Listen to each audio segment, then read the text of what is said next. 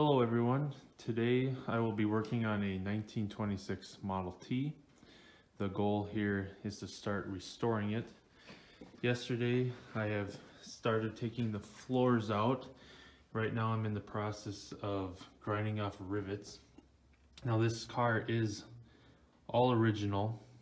It was found sitting in a barn and the engine does turn over but it hasn't run since probably the 50s it's not stuck, but the valves are stuck.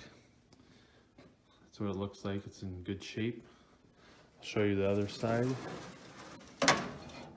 Still has, I don't think these are the original headlights, but it has those.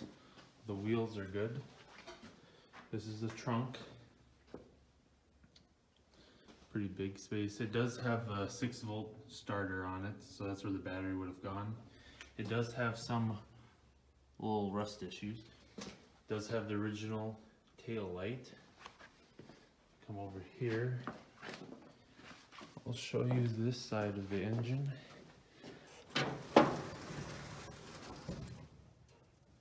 That's what this side of the engine looks like. It's got a water pump,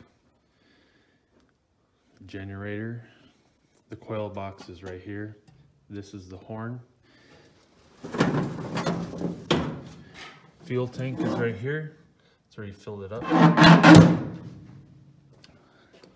Then on the inside, you have a horn button. One of these is timing, and one of these is the throttle. The throttle's up here. then we do have a key for it, and the choke. Then down here you can see the bottom of the gas tank. This car is, like I said, very original. It has a lot of the original paint left. Now there is currently no roof, but originally they had a canvas top. You have a windshield wiper here that's stuck, but it's a hand operated windshield wiper. All the doors open and close nicely. The glass is original, but that will be replaced. Pretty nice for a 94 year old car. So today I'll be taking out the rest of this floor, grinding off all these rivets, pounding them out, and we'll go from there. Hello everyone. I have made some progress on the 1926 Model T since the last time. I have taken out these two floor pans and they're just riveted in here I took a grinder and a pin punch and punched out the rivets and ground the tops off. I'll be taking out the rear floor next. But I came over here to this door and there was glass in here. Part of it was broken. I had to get it loose. This little runner in here was broken, but since the glass was broken, I was able to pull it off out the top. But on the other side, the glass is still there. So I'll show you what's going on over there. I figured out how to get this glass out. You have to take off these trim pieces in the top and on the side. But then next I'll have to take off this trim piece for the window sills and I should be able to pull the window out. Here they are laying on the floor. This is what they look like they have little staples that held them in. So that's what I have going on there. Then after I get the windows out, I'll probably go back to the floors and I'll get the rear window out and the side windows. The tool I use now to get the rivets off is this. That works very well. It takes about two minutes to get a rivet off. And to clean up the frame right here. You can see I cleaned it up. I used this machine, this vibrating needle machine, which works very well. One kind of cool thing is here, get this piece. See this original 1926 black paint? This is a piece that would go here on top of the window. And now we can see what the paint color was. We know it was black because that's the only thing Henry Ford wanted to paint his cars. Here's a window glass right here. Probably end up taking that in somewhere to get it cut, get a new one made, and we'll continue progress with this. Now the next plan is to take that floor out, and then we have these body bolts here. There's six, and we will undo those, take the body off, and set the body off outside, and then we'll start on the chassis, taking that apart, take pull the engine and transmission out, and continue the restoration from there. Hello everyone, we're working on the Model T still.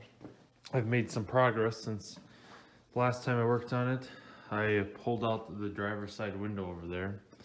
Now the easiest way to get this out is to take these window seals and they're just hooked up on top. They go up in here and they just hook in there and you just pull up on them a little bit, unhook them, they come down, then you can pull the window right out after you release it from that little roller. I'll show you the other side. That little roller.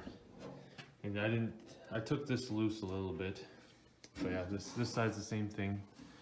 But up here, to get the top window sill out, you have to take this piece out and it's held in with three little brass screws. And in these little holes here, right there, you have to unscrew it. There's nuts in there.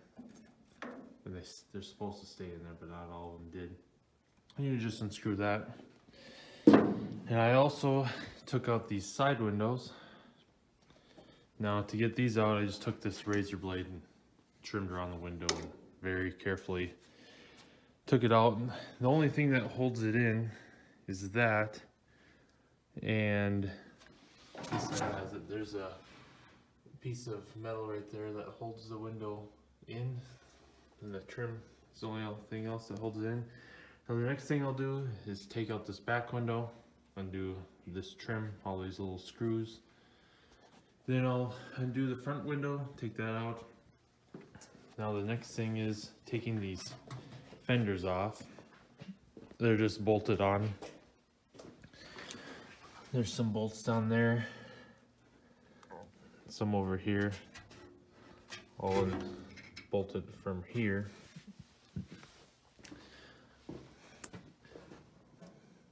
Nuts are on the inside.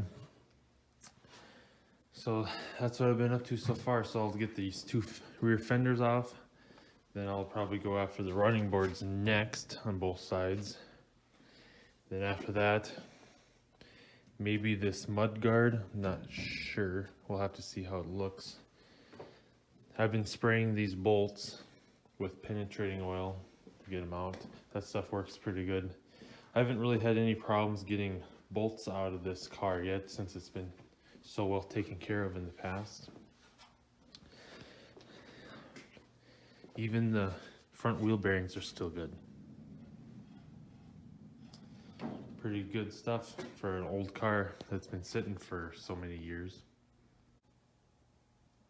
Okay, I got some more work on the done on the Model T. I took the running board off. It's held on by four bolts. There's a piece of wood on the bottom that holds them in. Carriage bolts. It's awful rusty along the side. There's kind of a little lip for it to collect rust. There's a small little rust hole I'll have to fix. After I took that off, I took the rear fender off. Before you take the rear fender off, you have to get to these two bolts here. But in order to get to those, you have to take off this bumper bracket, which all those bolts were stuck, so I had to, I used the air ratchet to get it off. It came right out or broke off. There's these two bolts and there's two short ones here, another long one here. And it was bolted in down there and came right out. Now, going to start the same thing on the driver's side. A lot has changed on the Model T since I've worked on it. My dad my brother have been working on it while I've been at work and it looks like they have got a lot done. It's important to keep in mind that this is a family project. So it looks like they got all the cowling off, the front fenders. I took the running boards off a few days ago. They got one door off. This is what the engine looks like out in the open. It's all original. Over here we have all the stuff laying on the floor. Gas tank and radiator, the other fender. The bolts, some bolts have been difficult to take out, but not all. But so far everything is going well. The goal here is to get this body off real soon. Then we can pull the engine out and go through that. Then all we have left is a chassis then it's ordering parts and cleaning them up and painting from there. We got all the glass out now. All the floors are out. This thing is moving right along. Nice messy workbench over here. Looks like everyone's been busy. my dad and my brother have been very busy on the Model T the past couple days as you can see. We got the body off last night. It was a family effort. Remember this is a family project. We used a loader to lift it off the back and back it out that back door. And we, my brother and I lifted it from the front. It's held on by these bolts here that were here. There's brackets up here, which are broken on both sides, as you can see. Looks like they've been broken for a while, but we'll find new ones or we will weld what we have. Right now we're getting ready to take the engine out. There's a bolt there that had to come out, bolt here. And these bolts back here. This is a transmission case. Now to get this separated, we just have to take this plate off and there's what you'd call nowadays a U-joint in there. And there's just a cap up here, up front that holds the engine in. And that's about it that holds the engine in. As this looks a little corroded. Now what's interesting about these cars, they're kind of like a tractor engine like you would find in a Ford tractor, sort of.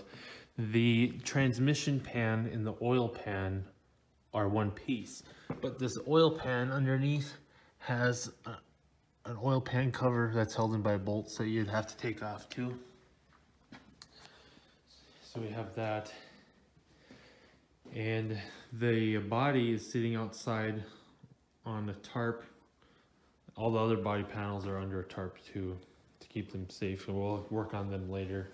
Right now we'll get the engine out and start work on the suspension and start sandblasting and cleaning things up and ordering lots and lots of parts. And we'll keep this project moving along. Everything here looks pretty nice. We'll reuse these wheels. We're gonna reuse most everything on this car. We'll have to replaced a few nuts and bolts here and there. And this is the starter button, if no one knows that. Now, these cars had cool grease caps. What you do is you'd fill this cap full of grease and whenever you need more grease, you turn it in a little bit and you'd put some more grease in the engine. And this engine came with a water pump. That's what this is here, and it has another grease cap. And these uh, kingpin, kingpin bushings are pretty loose as you can see. Here, let me. Yeah, so those are going to be replaced. The wheel bearings sound pretty good in them. And right here, there's bushings here that kind of get worn out as you can see. They have little oil caps. They won't open, they're stuck. But that's how you oil those. This king bushing here, we'll see. Yeah, that one's pretty loose too. We're gonna be replacing all this stuff though, and these leaf spring shackles will get replaced. They'll get replaced. It's all gonna be restored and looking pretty nice before we know it. It's a pretty nice original car. Well, someone put a nail in here, didn't have a cotter pin. That's okay though. That's what farmers did. You don't need cotter pin sets when you have nails laying around the shop. this has the starter on it, so this is where the 6 volt battery would sit. The battery cables would run up to the front. This is the starter right here. We'll rebuild that ourselves. The horn goes right here. The coil boxes would go inside here. That's where they would sit. That's what gives the power to these spark plugs here. So you could hand crank it or use a starter. Here's the generator right here. Keep the battery topped off. This would be the oil cap. The timer is up front. I'll talk about timing and getting to the engine stuff in a different video. We have th three champion spark plugs and one Ward spark plug. These will all get replaced, but I'm a, I collect spark plugs, so they'll go in the collection. We'll get a new belt, though maybe this one could get reused. they also, you could get uh, patch kits back in the day, as you can see here. It's like fixing a baler. So that was kind of interesting. You didn't buy a new belt back then, you fixed what you had. Nice made in the USA right here by Ford. The drive shaft is enclosed in this, I guess, pipe here. And it goes back to your standard differential. Not a lot has changed. Looks pretty similar to a new car, really. And these are the brake rods. We'll reuse those. Like I said, we'll reuse lots of stuff in this car. It's all good. I mean, even this wheel right here, you can see, has original paint on it still. Even the brake drums right here have original paint. Everything still turns nicely. We'll check out the differential, see if it needs any attention, but I think it'll be okay. All this works. Pretty cool stuff. So there you are. Here's some of the bumpers right here. This is the front bumper. I mean, some of these parts are such good condition. Look at this battery cable. That battery cable looks like it's almost brand new. And it's from 1926. We're gonna probably get a new one, but I mean, you could use that one if you wanted to. Got a nice organized mess going on here. Here's the, get it out of here. The instrument panel here. We have battery, dim, off, on, and magneto. You could start it on the battery using the battery and switch to magneto. They tended to run a little better on the magneto. You have an amp gauge here so you can check your charging. Have the headlight laying over there. It's for the fuel. We got some more work done on the Model T. While I was at work, my dad and my brother pulled the engine out. Wasn't too difficult. Put a strap right through the middle, just like Henry Ford says in his manual. I took off the coil box so you have more room. All the spark plugs are loose. Some of these head bolts might be a little difficult to get out, but we'll get them out. Looks a little crusty in there, but that's to be expected. Here's this belt. You can see it's been spliced twice. Water pump still turns nice. That's good. Nothing on this engine is stuck too bad. It's, as you can see, it gets cradled in there and has motor mounts there. This is a U-joint they had back then. I had to slide it out of that. Now, one thing we have going on is this water fitting here for the water to go in the block. It's a little too corroded for us to use, and I guess 1926 and 27 they made this this style, and the other years this was separate, but this one's together, so we'll have to find a new water inlet housing. Might be a little tricky, but we we will find one eventually. So, so far the car is coming along good. We'll just have to start disassembling the front suspension, the rear suspension and start sandblasting and grinding rust off and we'll start going the other way, I guess. As you can see, a lot of these leaf spring shackles are a little worn out. See how the axle, front axle is leaning a little bit back? We'll have to replace all that, but that's not so difficult. They make new parts for this Model T, so not a big issue. So, so far everything's going along well. Another thing I was gonna show you is what looks like the original engine paint. Looks like it's a dark gray maybe. It's kind of hard to tell. Hopefully you can see it well on the camera there. Yeah, this is a very original car as you can see. So there will be more updates to follow with the Model T restoration.